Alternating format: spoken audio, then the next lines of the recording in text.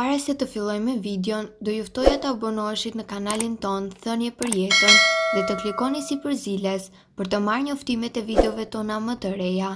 Faleminderit! Lëngu i cili duhet të konsumohet gjysmë ore para mëngjesit, drekës dhe darkës, ja problemet që trajton. Shumica e gjërave që kanë veti shëruese kanë një shije jo fort të mirë për ne. Kështu ndodh edhe me lëngun e patates, i cili është krejtësisht pa shije, por është shumë i shëndetshëm dhe përfshihet në dietat mjekësore. Trupi bëhet alkalik. Lëngu i patates ndihmon në ndihmimin e krijimit të ekuilibrave të acidit të trupit, gjë që është shumë e rëndësishme për ne. Ka veti antiinflamatore. Lëngu i patates mund të ndihmojë në arteriet në forma të tjera të proceseve inflamatore, sidomos për dhimbjet e kyçeve. Gjithashtu stimulon qarkullimin e gjakut që është në trup. Rigjeneron lëkurën. Lëngu i patates ka veti të efekteve qetësuese në ekzema, në zhdukjen e puçrrave në fytyrë dhe ndihmon në pastrimin e lëkurës. Ndihmon në procesin e humbjes së peshës. Për këtë qëllim është i nevojshëm që të pihet një gotë me lëng patate para mëngjesit dhe një tjetër 2 deri në 3 orë para se të flini. Pastron mëlçinë, prandaj mund të përdoret në dietat e detoksit, por gjithashtu mund të jetë lehtësues funksioni i mëlçisë edhe i fshikës së tëmthit nëse ka probleme. Për këtë qëllim pini një gotë me lëng mëngjes me stomak bosh. Ndihmon në trajtimet gastrike dhe ulçrat, prandaj është e këshillueshme të konsumoni një lugë me lëng patate të holluara dhe një gjysmë ore para mëngjesit, drekës dhe darkës, në mënyrë që të përfitonin maksimum nga vlerat e tyre.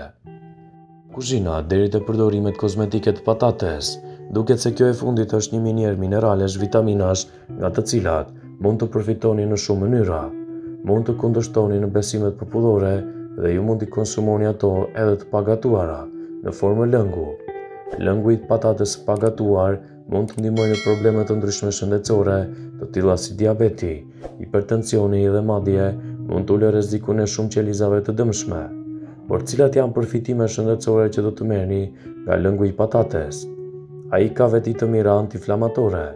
Antioksidantët e pranishëm në lëngun e patates të pagatuar Përmbajnë përbërës antiinflamatorë. Këto të fundit ndihmojnë në parandalimin e sëmundjeve kronike inflamatore, duke përfshirë ekzemën dhe artritin, si dhe lehtësimin e shqetësimeve të shkaktuara prej tyre. Parandalim i shumë qelizave të dëmshme. Megjithëse nuk është provuar shkencërisht, po bëhet kjo pak hulumtime laboratorike për të vërtetuar se lëngu i patates ndihmon në luftimin e sëmundjeve të zorrës së trashë, duke penguar qelizat e dëmshme që dëmtojnë qelizat e tjera të shëndetshme. Shëndeti i zemrës Lëngu i patates përmban bllokues të arterieve dhe vjen jo pak me përfitime shëndetësore për zemrën. Gjithashtu konsumimi i një filxhani me lëng patateje mund të ndihmojë në lehtësimin e artritit. Janë të pasur me vitaminën C. Patatet përmbajnë pak më shumë se 100% të sasive të rekomanduara ditore të vitaminës C. Vitamina C ndihmon trupin të përthithë hekur, të forcojë kolagjenin në muskuj, enët e gjakut dhe kockat. Vetitë e saj antioksiduese përmirësojnë gjithashtu cilësinë e lëkurës, duke ndihmuar në parandalimin e acarimit, skuqjeve ose shfaqjes së puçrave. Ajo përmirëson edhe funksionet e aparatit tretës. Lëngu i patates favorizon shumimin e bakterieve të dobishme për traktin e tretjes. Ato janë të pasur me vitaminën B. Vetëm një filxhan me patate të gatuara të ziera përmban rreth 40% të sasive që kërkon trupi për vitaminën B3 dhe tiaminë. Gjithashtu ka sasi të vogla të vitaminës B6 dhe riboflavinë.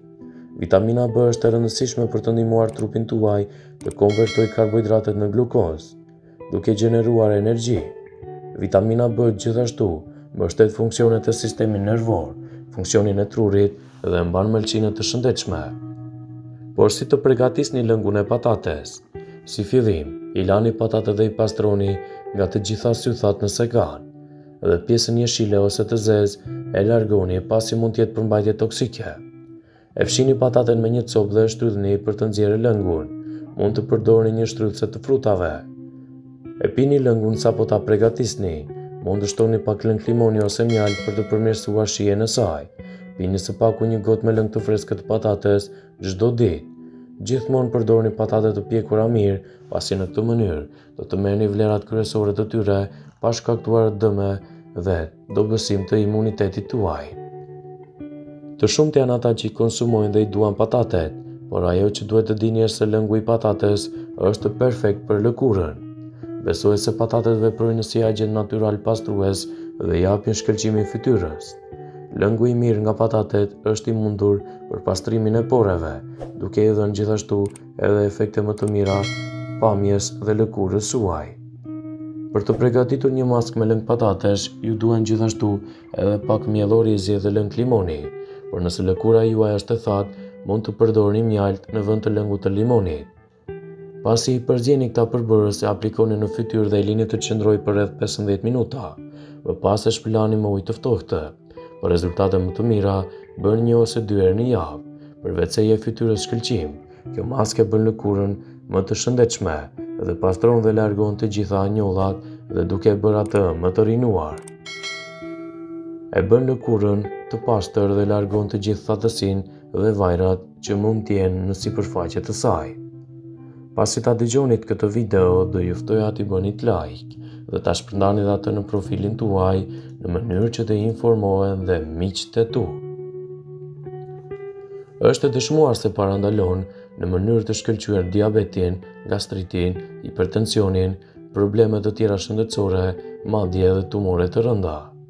Fuqia e patateve të papërpunuara është vlerësuar prej shekujsh për të gjitha brezat e kanë përdorur si ilaç për trajtimin e problemeve të ndryshme. Megjithatë, ka ende një mundësi besimi se patatet e pagatuara dhe të papërpunuara nuk janë të përshtatshme për t'u konsumuar. Ky është një gabim i madh, sepse patatet e papërpunuara kanë përfitime të mahnitshme shëndetësore. Sigurohuni që t'i qëroni patatet përpara se t'i përdorni, veçanërisht nëse kanë pak lëkurë jeshile ose filiza që kanë mbirë. Është helmi i cili mund të dëmtojë shëndetin tuaj nëse përdorni patate jeshile ose ato që janë me filiza. Hiqini të gjithë lëkurën dhe filizat dhe e përdorni patate në dobi të shëndetit tuaj. Ekspertët kanë trajtuar dhe kanë arritur në përfundimin se përfitimet nga lëngu i patates janë vërtet të mëdhaja për organizmin tonë. Lëngu i patates është kura më e mirë natyrale për gastritin, një problem shëndetësor i zakonshëm i kohëve moderne. Besohet se kombinimi i një lugë gjelle me lëng patate të freskët me pak ujë Është efekt eficient, super i mirë për të trajtuar problemet e stomakut. Pini lëngun e patates gjysëm ore përpara vaktit të ushqimit. Nëse keni probleme të stomakut ose ulçra, merrni gjysëm decilitër lëng patate përpara se të hani ose të pini diçka. Duhet të merrni gjithashtu një gjysëm tjetër decilitri gjysëm ore përpara vaktit të drekës ose të darkës. Studiues të ndryshëm dolën në përfundim se benefitet që do të merrni nga lëngu i patates do të jenë vërtet të mëdhaja. Substancat që gjenden më veçanërisht te patatet japin fuqi trupit tuaj dhe gjithashtu ndihmojnë në ngadalësimin e rritjeve të tumoreve, sidomos në përmirësimin e shëndetit tuaj të përgjithshëm. Rezultatet e këtyre studimeve arritën në përfundimin se lëngu i patates kontribuon kundër sëmundjeve kancerogjene. Sot, patatet e papërpunuara po bëhen më popullore, pasi kërkuesit kanë konfirmuar efikasitetin e tyre kundër problemeve të veshkave dhe të mëlçisë, sëmundjeve të zemrës, hipertensionit, diabetit, dhimbjeve të mesit, reumatizmës e të tjera. Përveç kësaj, patatet e papërpunuara i bëjnë shumë mirë edhe sistemit imunitar. Nëse keni lodhje, sidomos mungesë energjie, pini një filxhan nga ky eliksir. Merrni lëngun nga një patate mesatare, pak karotë dhe mollë dhe e pini përzierjen e lëngut një herë në ditë, në mëngjes dhe përpara se të shkoni për të fjetur. Në këtë mënyrë do t'i ktheni vetes vitalitetin brenda dy javësh. Ky lëng rrit imunitetin, detoksifikon, trajton tumore, sëmundje të ndryshme të lëkurës, gastritin dhe probleme të stomakut. Ul sheqerin në gjak, trajton probleme të mëlçisë dhe të veshkave, mbron kundër sëmundjeve kardiovaskulare. Lëkura e patates ndihmon trupin të detoksifikohet dhe është një burim i pasur me ushqyes plot me përfitime. Lëkura e patates largon toksinat e rrezikshme nga trupi dhe i jep trupit ushqyes për të cilët ka nevojë. Lëvorja e patates është e pasur me vitaminën C dhe B6, kalium, hekur, magnez, zink, proteina dhe shumë e pasur me karbohidrate. Pasi ta dëgjonit këtë video, do ju ftoja t'i bënit like dhe ta shpërndanit atë në profilin tuaj në mënyrë që të informohen dhe miqtë e tu.